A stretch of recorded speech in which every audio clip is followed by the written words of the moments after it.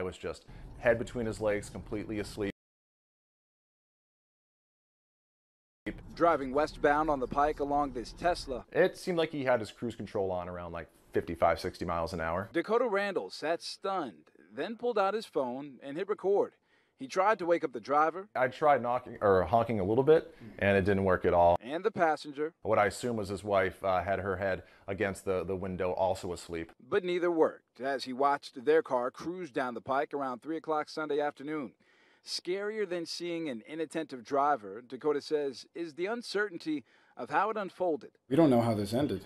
No, no. I mean, I was with him for about a 45 seconds to a minute or so, and then I just, you know, I sped up and left him behind. leaving them behind and taking with him a new perspective on how he'll drive around self driving cars. I'm never going to look at one the same. You know, I'm always going to look to see if somebody's asleep. Malcolm Johnson, NBC 10 Boston.